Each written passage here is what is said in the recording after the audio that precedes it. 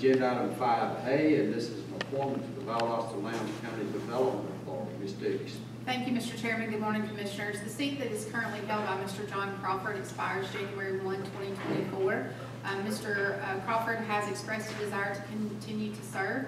This is also the rotating appointment. The nomination started with the city of Valdosta, so if the commission chose to reappoint John Crawford, um, then he would stand reappointed. Okay.